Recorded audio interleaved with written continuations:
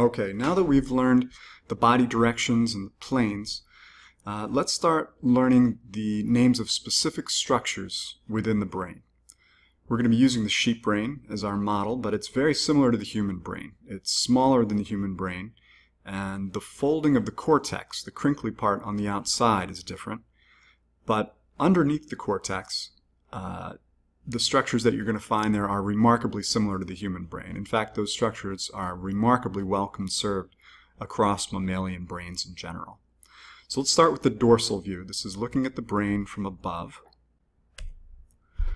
The cerebrum is sort of the large anterior-most part of the brain.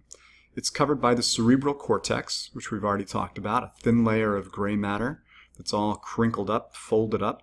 Where it folds in, that's called a sulcus, where it folds out like this, that's called a gyrus. And the cerebrum is divided up into two cerebral hemispheres, the left cerebral hemisphere and the right cerebral hemisphere, which is uh, shown in the blue box here. The two hemispheres are divided by the longitudinal fissure. A fissure is just a sulcus. When a sulcus is really large and pronounced, we often call it a fissure. But it's the same thing. It's just a, a fold, in this case a very deep fold, that separates the left hemisphere from the right hemisphere. And it gets its name from the fact that it runs along the whole length of the cerebrum. Here we have the cruciate fissure. You can see it forms kind of a cross with the longitudinal fissure, which is where it gets its name. Cruce is the Latin word for cross. And everything anterior to the cruciate fissure here, highlighted in teal, is the frontal lobe.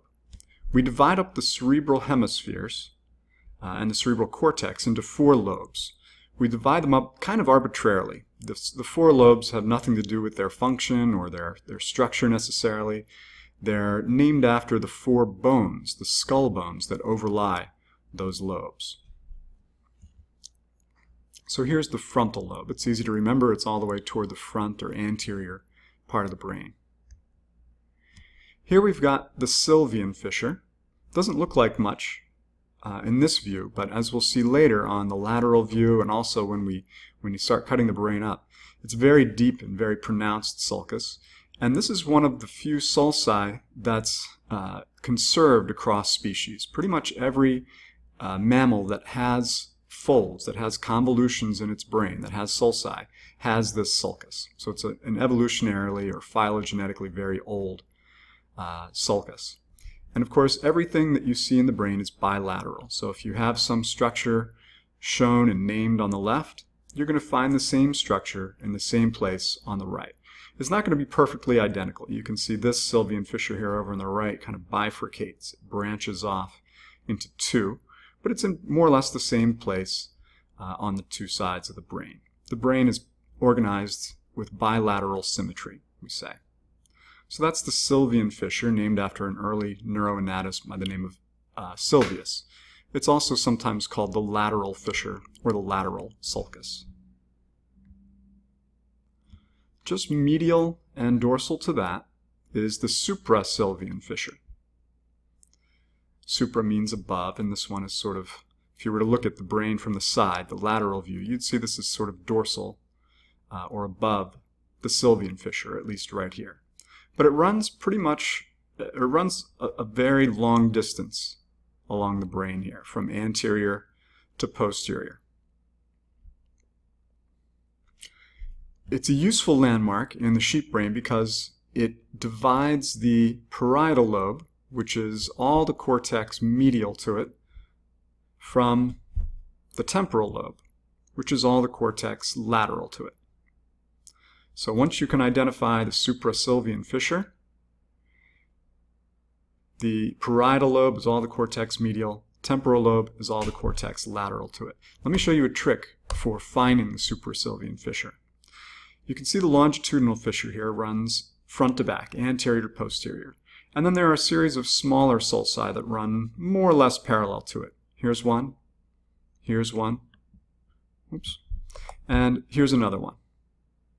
But, oh, there are no more. The suprasylvian is the lateral most sulcus that runs roughly parallel to the longitudinal fissure. It's the one that's the most lateral, furthest toward the side, but still running more or less front to back, like the longitudinal fissure.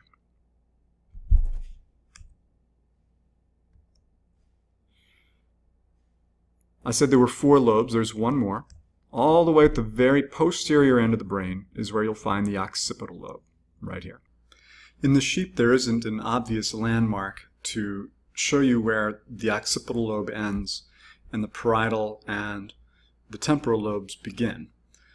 Instead, try and find where the left and right hemispheres kind of meet in the middle, right about here, and then draw an imaginary line directly lateral to that, directly uh, from left to right or right to left, off to the side from that point. We'll talk more about the functions of these various lobes and the parts within the lobes over the course of the semester.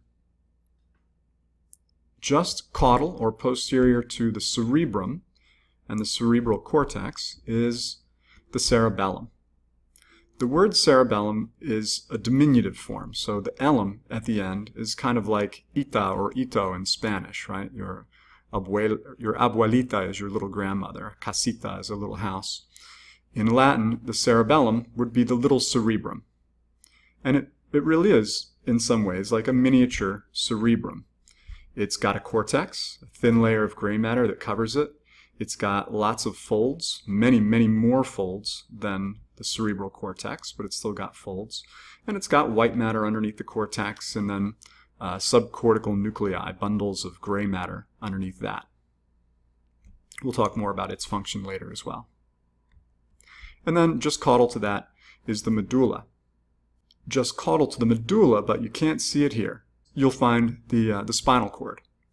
The medulla, you can see, has kind of a V shape. The two sides, or two edges, on the left and right are not really parallel to one another at all. It makes this kind of V shape. It gets broader as you go more anterior. The spinal cord isn't like that. The two sides of the spinal cord are more or less parallel. So that's how you can tell where the medulla ends and the spinal cord begins. This is showing you a dorsal view of a different animal's brain. This is the dorsal view of the human brain. And you can see it looks pretty similar. Uh, you've got a big cerebrum covered with a, a folded up cerebral cortex, folds in and out and in and out. But you can see that we have a much bigger cerebral cortex a much larger cerebrum generally, and many, many more folds. But nonetheless, some of the, the general organization is the same. We've got a longitudinal fissure running down the midline, separating the left and right cerebral hemispheres.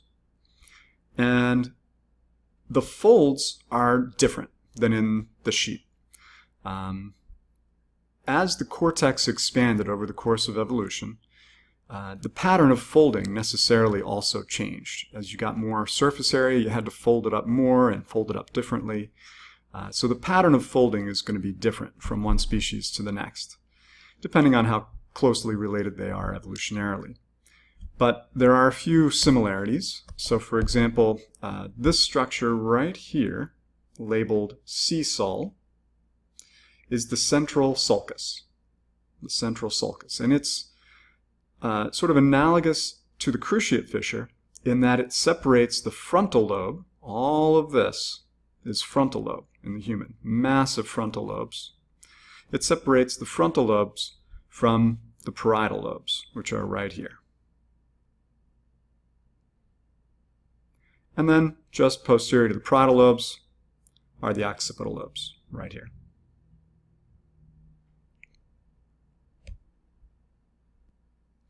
Now you'll notice that there are some things that are missing that were present on the sheep brain from the dorsal view, and that's the cerebellum and the medulla. We have a cerebellum and medulla, but because we stood upright, the dorsal part of our brain, the cerebrum, kind of tilted anteriorly. It rotated forward 90 degrees.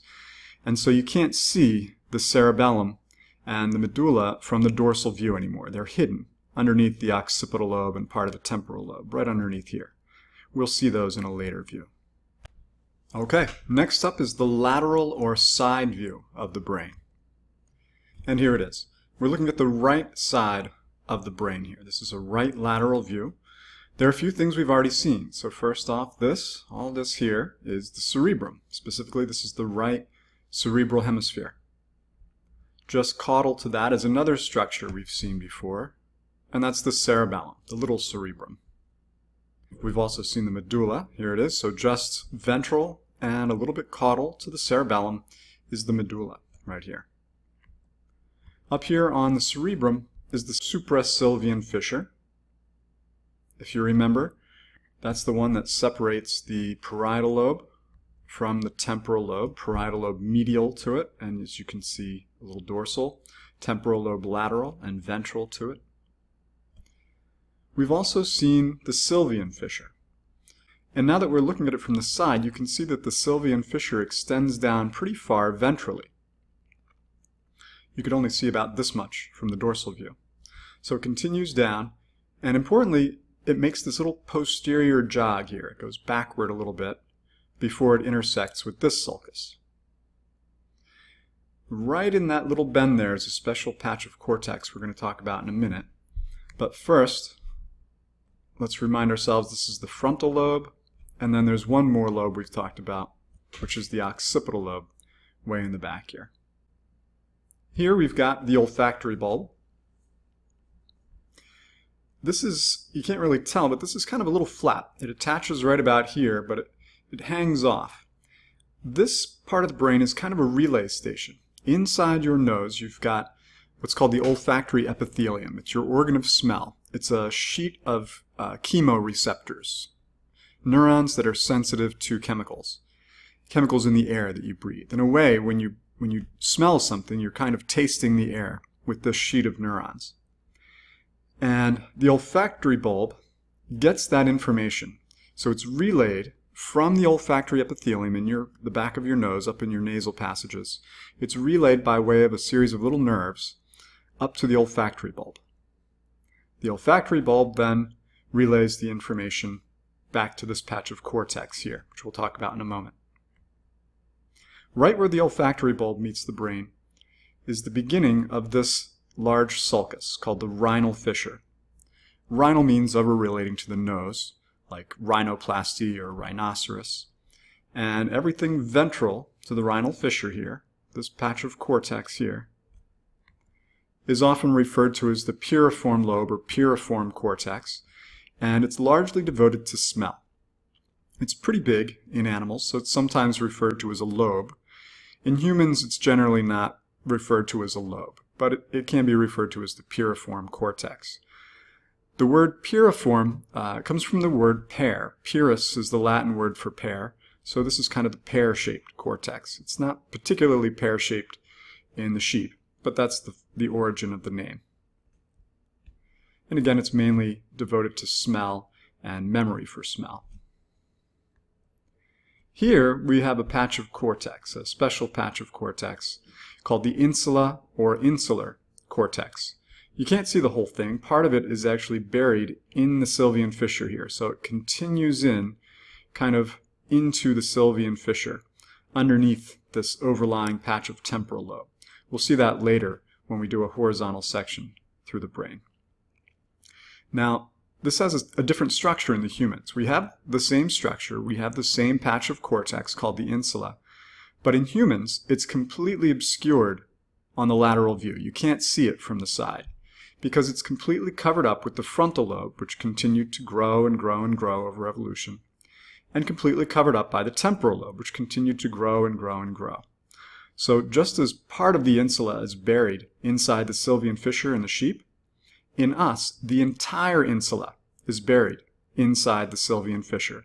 It's completely obscured by the frontal lobe and the temporal lobe. But it's in there, and we'll see it in, uh, in lab, and we'll see it in the future.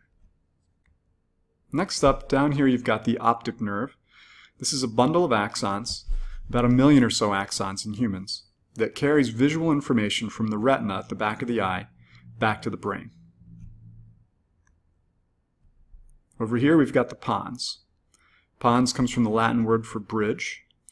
Um, it's a uh, it's sort of a little bump that extends ventrally. That's the easiest way to, to describe it and to find it.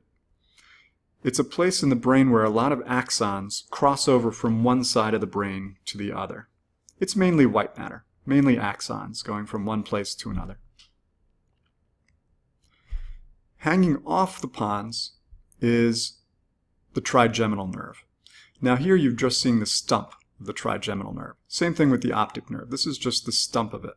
The optic nerve would extend out several centimeters to the back of the eye, but it's been cut off here.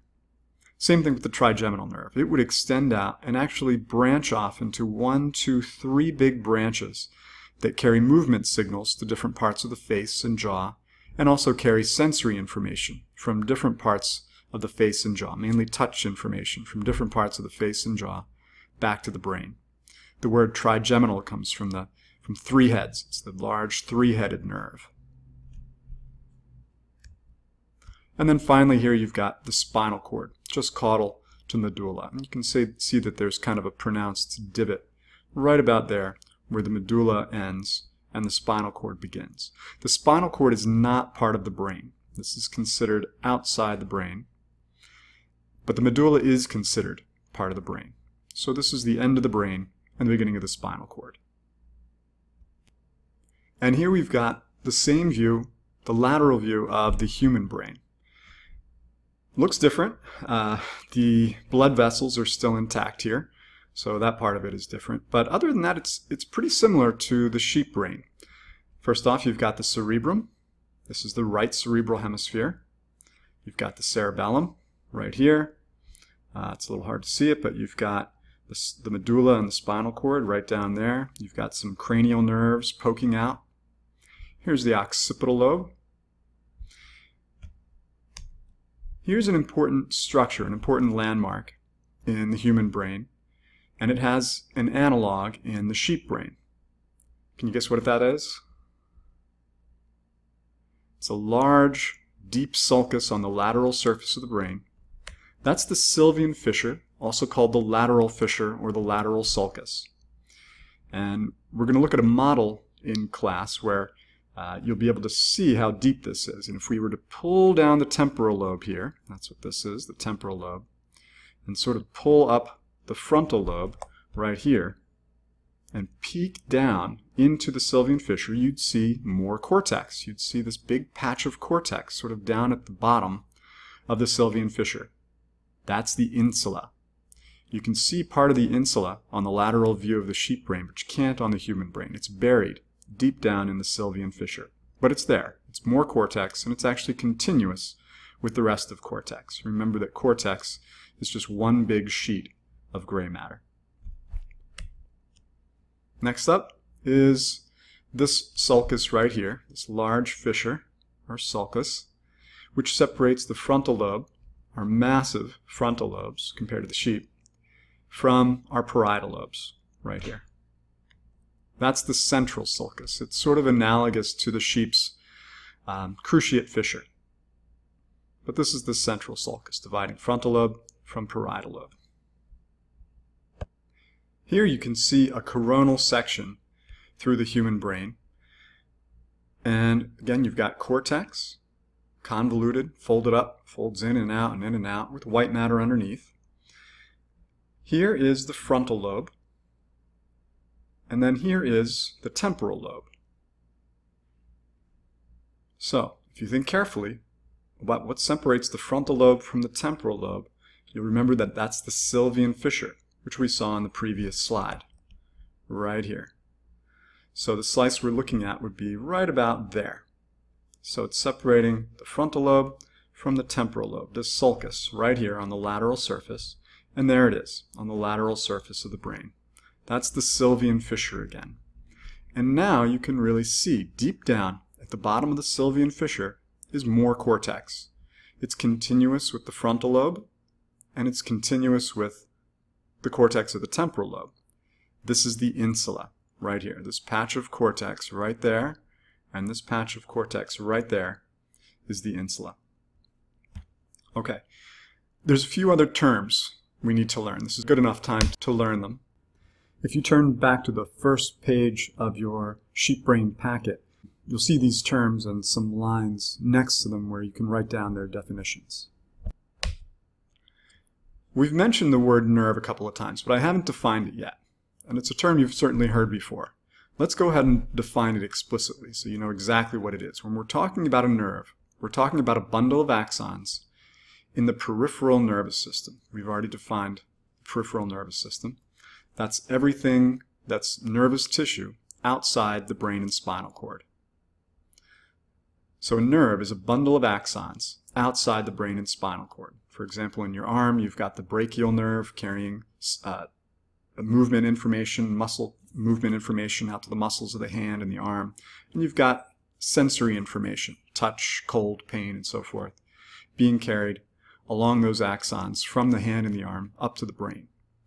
That's a nerve, a bundle of axons in the peripheral nervous system.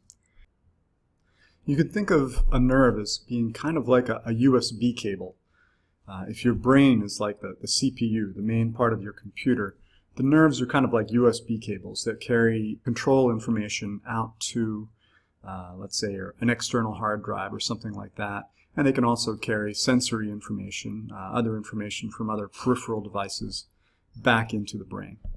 Then you've got a ganglion. This is the term for a bundle of somas, or cell bodies, in the peripheral nervous system. So a ganglion is essentially a little chunk of gray matter outside the brain and spinal cord. We'll see some of these later. You've got several spinal ganglia all along both sides of your spinal cord, just outside the spinal cord and the vertebrae. We also have names for these same kind of structures inside the brain and spinal cord, in the central nervous system, or the CNS. So inside the central nervous system, a bundle of axons is called a tract. Sometimes it's also called a fasciculus. So a tract is a bundle of axons in the central nervous system. So for example, this white matter here consists of a series of discrete tracts that you can trace out from one place to another. If you zoom in on this white matter here, you'll see individual axons. Zoom out a little bit and you'd see bundles of axons carrying information from one chunk of gray matter to another, from the somas of one chunk of gray matter over to the somas in another chunk of gray matter. And then finally, we've got a, a, nucleus, which is a bundle of somas in the central nervous system. So this is essentially a little chunk of gray matter in the central nervous system. For example, this right here is a nucleus. This is a nucleus right here. This is called the caudate nucleus. Now don't be confused. Nucleus has two different definitions in the context of this class. We've already talked about the nucleus as the part of an individual cell, the part of a microscopic cell that contains the DNA. In the context of gross neuroanatomy, though, what you can see with the naked eye, a nucleus is a chunk of gray matter. It's a bundle of somas and dendrites in the central nervous system.